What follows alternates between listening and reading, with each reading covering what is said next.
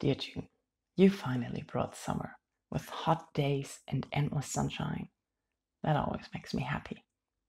It didn't hurt either that we gradually came out of lockdown. Shops and restaurants are open now, and I got to see some friends again.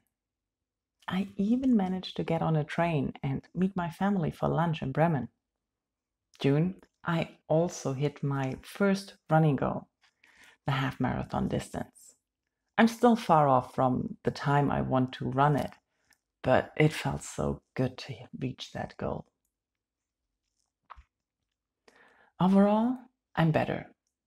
And when I think about all the things that happened, it's rather strange that our time together feels just like a blur, as if nothing happened and nothing changed.